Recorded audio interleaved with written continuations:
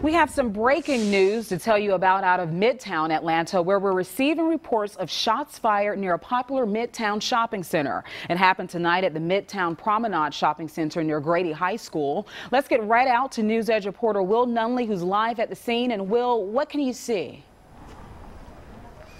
Well, Marissa, we do have some preliminary information. All this happening within the past 30 to 45 minutes. What we can tell you, we still have a very active scene behind us. An officer on the scene is giving me some preliminary information indicating there was shots fired between possibly some suspects trying to enter some vehicles here and an off-duty officer from another agency. We don't understand that that officer was actually with APD, but that there was an exchange of gunfire. However, there's been no one taken away from this scene with injuries. I want to swing around and show you kind of what's happening at this hour. As you mentioned, this is a busy shopping center. Right now, folks are still waiting to get back in their cars. They've been kind of waiting here patiently while uh, investigators are working the scene because right now uh, investigators are going through this parking lot, kind of vehicle by vehicle, uh, to uh, to log the scene, to see if the process the scene, if you will, uh, to kind of log some of the bullet holes and things like that. So this is still a very active investigation at this point. You can see the officers, lots of crime scene tape up, by the way, with the majority of this shopping center parking lot kind of cordoned off right now.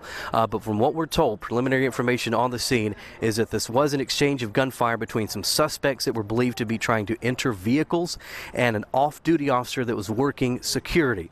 We're going to wait for more information tonight from investigators. We'll stay on the scene and bring you the very latest on Good Day Atlanta starting bright and early tomorrow morning. That's the latest tonight from this Midtown scene. Will Nunley, Fox 5 News. Thanks, Will. That's certainly a busy part of town.